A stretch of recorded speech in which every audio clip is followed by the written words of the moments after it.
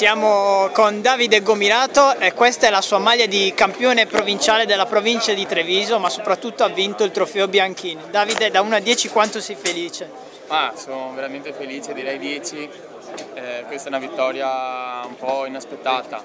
Eh, io comunque ho lavorato tanto, eh, fine stagione, tra allenamenti, ho tenuto duro anche se so che è l'ultimo anno, però non si sa mai, quindi bisogna tenere sempre duro. E ringrazio la squadra che mi ha pilotato fino alla fine, mi ha tirato un'ottima volata e, e, niente, sono riusciti a ripagarli per la fiducia che mi hanno dato. E ringrazio veramente i patron, Lucchetta, Egidio Fiore, Gianni Faresin, Luciano Rui dal primo all'ultimo che quest'anno mi hanno dato la possibilità di fare l'ultimo anno qua con loro e spero di averli ripagati fino in fondo.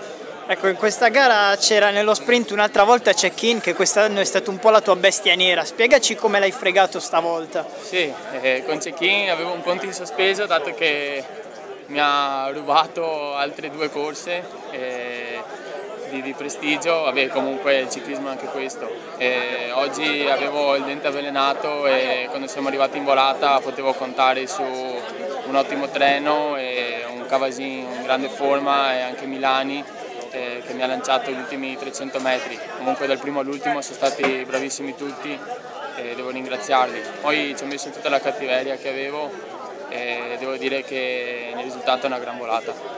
Ecco, infine Davide, come hai già lasciato intendere dalle tue parole, questo potrebbe essere il tuo ultimo anno da corridore. Noi ovviamente ti auguriamo che non sia così, anche che la tua vittoria ti rilanci.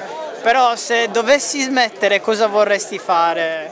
Ma con i tempi che girano adesso eh, tutto, tutto, va bene.